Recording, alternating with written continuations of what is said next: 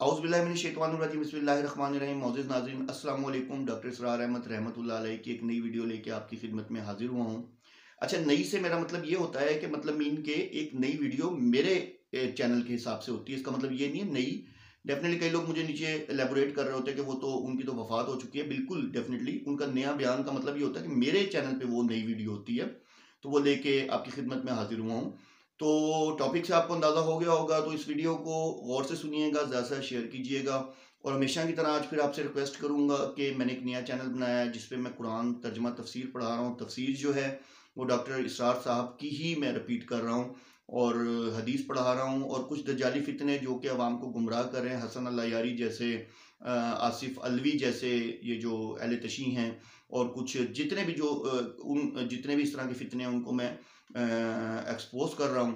तो आप जो है ज़रूर जहाँ के वहाँ वीडियो देखिएगा और मैं ये नहीं कहता कि आप कोई जबर नहीं है, कोई ज़ोर नहीं है कि आप मेरे चैनल को सब्सक्राइब करें। अगर आप करना चाहें तो करें, नहीं तो वीडियो ज़रूर देख लें ताकि आप लोगों को ये जो जितने भी फितने इस टाइम मार्केट में हैं, ये जो कि ख़ासतौर पर तो हसन अल्लाह यारी जो एक नई चीज़ ही निकल के सामने आई है, ताकि आप लोगों को इनका जो असल चेहरा जो है क्योंकि मैं इतना उसके झूठ पकड़ चुका हूँ और इतनी वीडियोस बना चुका हूँ तो आप लोगों को ताकि उसका असल चेहरा जो है वो नज़र आ जाए। तो आइए देखते हैं डॉक्टर साहब का नया बयान। नीचे आइए तो दूसरा, दूसरी रजाई जो है वो है माशी निज़ाम। पूरी दुनिया में माशी निज़ाम इस वक्त इंटरेस्ट बेस्ड कैपिटलिज्म की बुनियाद पर है। सूद पर मबनी कैपिटलिस्ट सिस्टम सरमायादाराना निज़ाम। जिसमें असल ताकत, असल हक सरमाए को हासिल है, लेबर को नहीं। और सरमाया अज खुद भी बगैर किसी मेहनत के कमाई कर सकता है। आप बैंक में रुपया रख दें, सूद लेते रहे। आपकी किसी मेहनत को कोई दखल नहीं है। कहीं से एक मरतबा डाका डालकर, गबन करके, कुछ और करके आप एक दफ़ा साइजेबल रकम रख दें बैंक में। अब हर महीने आपको मिलता रहे, खाते रहे। आपकी किसी मेहनत की ज़रूरत नहीं, किसी भागदौड़ की ज़रूरत नहीं। फिर इसकी एक और छोटी बहन आई, और वो है जुआ स्पेकुलेशन एक तीसरी बहन आई इंश्योरेंस इंश्योरेंस भी असल में कैपिटलिज्म के तहफ़ का ज़रिया है। आपने कारखाना लगाया है, चाहे माचिस फैक्ट्री लगाई है, आपके दस करोड़ रुपया उसमें लग गया है। अब इस माचिस फैक्ट्री के लिए आफात जो है, जमीनी, आसमानी, आ सकते हैं। आग लग जाए। शाहदरा के अंदर माचिस फैक्ट्री है, ऐसा सैलाब आए, जब आगे ले जाए। इस सूरत में सरमायादार का जो नुकसान होगा, उसको भी जो कंज्यूमर है माचिस वाला, वो अदा करेगा। वो उसे इंश्योर कराएँगे।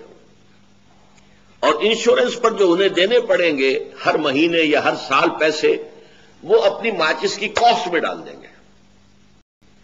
लिहाजा हर कंज्यूमर जो एक माचिस खरीद रहा है, उस माचिस की कॉस्ट के साथ साथ, उस कैपिटलिस्ट की, के फ्यूचर की हिफाजत के भी पैसे खुद दे रहा है। ये तीन जो है मिलकर एक माशी निज़ाम बनते हैं। इस माशी निज़ाम के खिलाफ एक बगावत हुई थी, और वो कम्युनिज्म का निज़ाम था। कम्युनिज्म में इंटरेस्ट खत्म हो गया था। इंफरादी मिल्कियत ही नहीं तो इंटरेस्ट काहे पर होगा? आपके पास पैसा ही नहीं तो किस चीज़ पर इंटरेस्ट होगा? सब, हर चीज़ जो है, वो तो कौम की मिल्कियत है। आप काम करें वेज दें खाने का आपका बंदोबस्त होगा, ये हुकूमत के जिम्मे है। लेकिन इससे आगे आपको कोई हक नहीं है कि आप कोई जमात बनाएँ, कोई एजुटेशन करें, कोई अपनी वेजेस बढ़ाने के लिए जिद्दोजहद करें। नथिंग ऑफ़ सॉर्ट इस निज़ाम में चूँकि गैर फितरी इंतहा पसंदी थी, ये चल नहीं सका ज़्यादा देर तक। अब उसकी मौत आते हो चुकी है। ये एक ही निज़ाम था कि जो कैपिटलिज्म को चैलेंज कर रहा था। और पिछली सदी के वस्त में यह सैलाब की तरह बढ़ रहा था और वेस्टर्न कैपिटलिज्म काँप रहा था अपने घर के अंदर। यह पता कर रहा यूरोप आधे से ज़्यादा उसने कब्जा लिया था। लैटिन अमेरिका में पहुँच गया था, सेंट्रल अमेरिका में पहुँच गया था, क्यूबा में आज तक है। फिर यूएसएसआर के अलावा चाइना में पहुँच गया था, हिंदुस्तान में पहुँच गया था, बंगाल में और केरला में उसकी हुकूमतें कायम हो चुकी थी। फिर इससे भी बढ़कर यह कि यूएसएसआर जो है कॉन्क्वेस्ट ऑफ़ द स्पेस खला की फतह, उसमें बहुत आगे निकल गया था अमेरिका से। अमेरिका काँप रहा था। यही वजह है कि उस जमाने में उन्हें मजहबी किताबें बड़े पैमाने पर करोड़ों की तादाद में शाये की कि लो बाबा खुदा के लिए कुरान पढ़ो देखो कि ये कम्युनिज्म जो है, ये तुम्हारी तुम्हारी किताब के खिलाफ है। दी ग्लोरियस कुरान मुझे याद है जब मैं मेडिकल कॉलेज में पढ़ता था।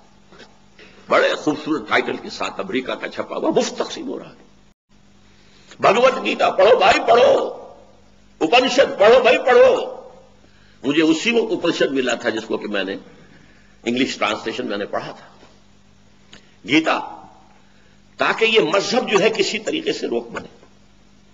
नेटो बना दी गई थी, सीटो बना दी गई थी, सेंटो बन रही थी या बन भी गई थी।